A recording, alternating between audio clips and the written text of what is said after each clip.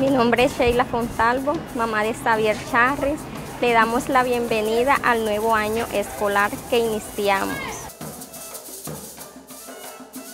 El Ministerio de Educación está acompañando hoy la bienvenida que le está haciendo a todos los niños y a las niñas a su año escolar, mostrando que la prioridad en la educación durante este tiempo será la ruralidad, la educación rural.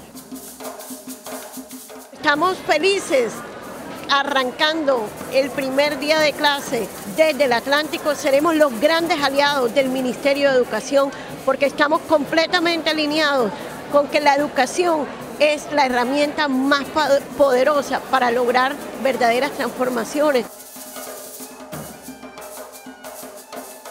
En este año nuevo escolar les deseo que salgan bien en, en todas las clases en todas las áreas. De la mano con el Ministerio de Educación porque creemos que una de las mejores formas de cerrar brecha social es justamente trabajando por equidad en las poblaciones más necesitadas.